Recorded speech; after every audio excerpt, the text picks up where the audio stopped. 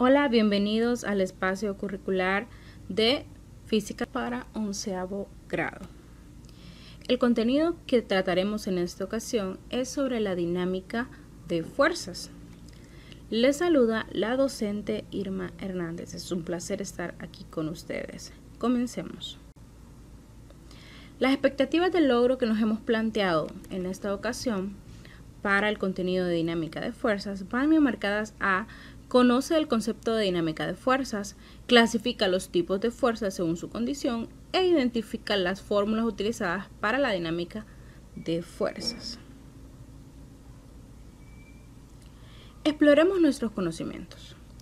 Quiero que observen estas imágenes y podamos determinar qué observa.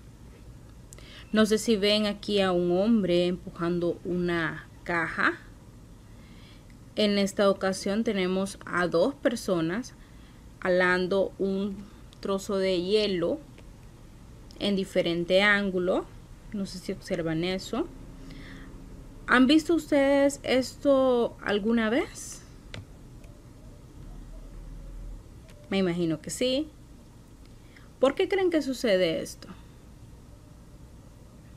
Pues bien, lo vamos a averiguar a medida vayamos tratando la lección. La dinámica es la parte de la mecánica que estudia el movimiento desde el punto de vista de las causas que lo producen. Antiguamente el gran filósofo Aristóteles se preguntaba por qué se movían los cuerpos, pues él consideraba erróneamente que lo propio de la materia era estar en reposo. Así, se consideran las fuerzas como la causa de las variaciones en el movimiento de los cuerpos. Las fuerzas están determinadas como la interacción entre dos cuerpos materiales. Es una magnitud vectorial que se puede representar mediante vectores. Las fuerzas se miden con dinamómetros. Su unidad es el newton y está determinada por kilogramo metro segundo cuadrado, si recordamos en las lecciones anteriores. Al aplicar una fuerza de un newton a un kilogramo de masa, su velocidad aumenta un metro sobre segundo cada segundo que transcurre. Esta entonces es la definición de fuerza.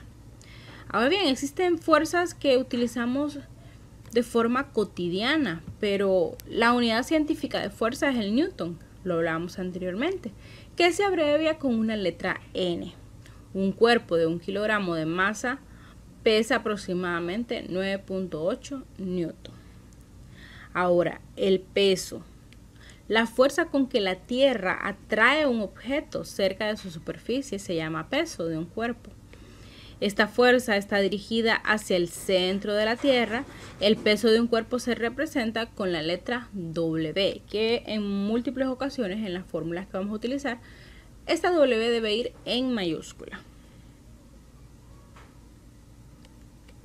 Ahora hablaremos de un tipo de fuerza que se necesita mucho y es la fuerza normal. Cuando un cuerpo reposa o se desliza sobre un plano, este le aplica una fuerza perpendicular que por este motivo se denomina fuerza normal, o sea, es una fuerza que ya está establecida.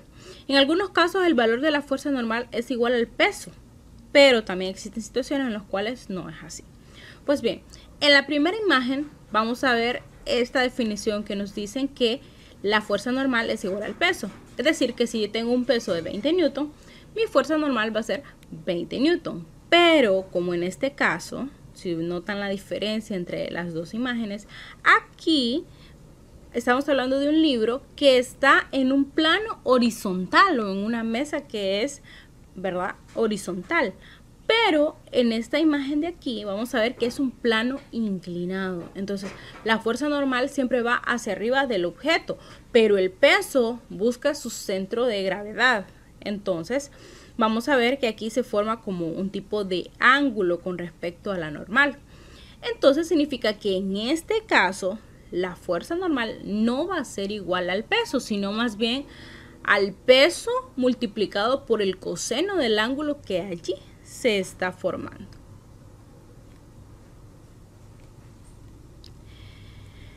Tenemos las fuerzas de fricción cuando un cuerpo se desliza sobre una superficie y en ciertas circunstancias cuando reposa sobre ella, esa superficie le aplica una fuerza, se denomina de rozamiento. Si el cuerpo se desliza se llama, en todo caso, quiero que vean la imagen.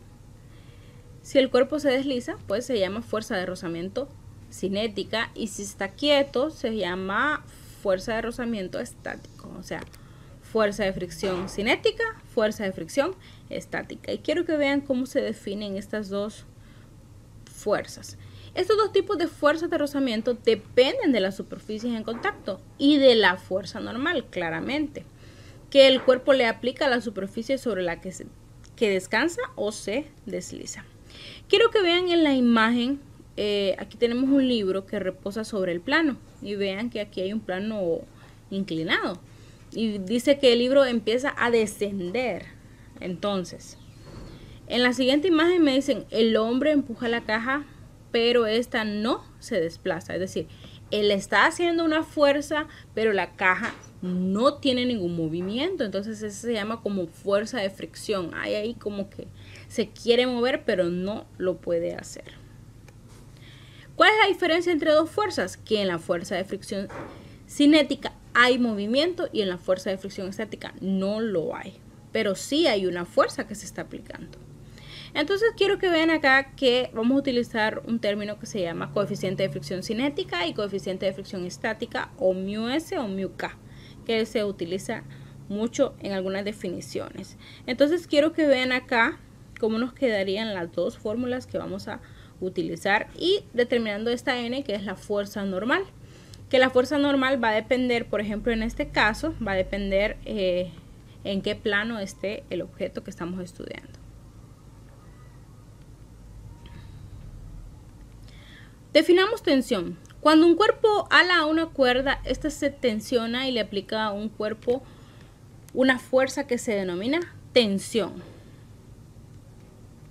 Vamos a clasificar las fuerzas. Existen dos tipos de fuerzas, fuerzas de contacto cuando hay un contacto o interacción entre los cuerpos, por ejemplo en la primera imagen, y fuerza a distancia, no hay contacto entre los cuerpos que están interaccionando.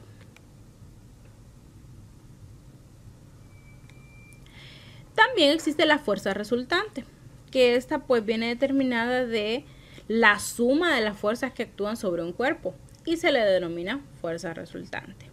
Y esa está determinada por la fuerza normal, menos el peso. En este caso eh, que estamos estudiando este cuadrado, ¿verdad? Entonces van a ver que las dos fuerzas que están ahí son estas. Y quiero que vean algo muy importante. Noten que el peso lo colocamos negativo. Pues claro, está en el plano negativo.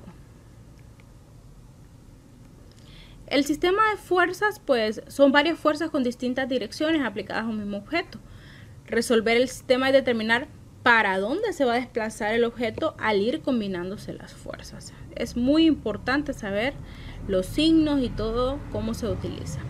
La masa se ha definido eh, como con la letra M y esta masa de un cuerpo como una cantidad que depende del número de protones, neutrones y electrones que conforman ese cuerpo. La materia no puede oponerse al movimiento, pues es inerte, pero a mayor masa se le debe aplicar mayor fuerza en este caso una fuerza neta, para acelerarla igualmente a una de menor masa. Ahora definamos el peso. El peso que está determinado con una letra W de un cuerpo se define como la fuerza que la Tierra le aplica a ese cuerpo. La segunda ley de Newton permite establecer una relación entre la masa y el peso de un cuerpo.